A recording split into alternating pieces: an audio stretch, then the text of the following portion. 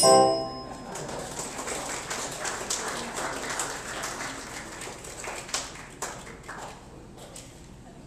it's finally summer. It sort of makes your heart flutter, doesn't it? What used to make my heart flutter is some of the old songs we sing. Oh, yeah,